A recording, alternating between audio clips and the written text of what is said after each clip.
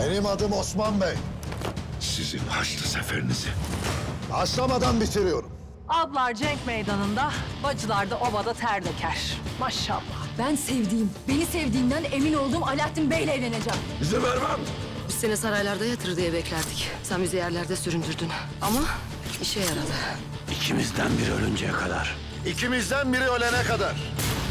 O imparatora deyin ki topraklarıma bir daha bir komutan gelirse geleni değil bizzat sarayında onu boğazlarım bitsin. Savaşlar yeni başlıyor. Bize asker ve pusat gerek. Mekece Kalesi'ne yürüyeceğiz.